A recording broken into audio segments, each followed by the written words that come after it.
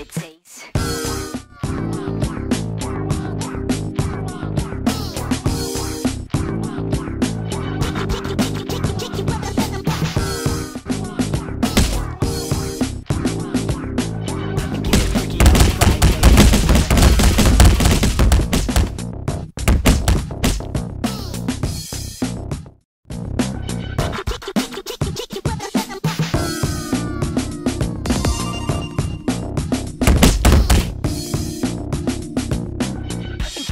on a Friday night yet.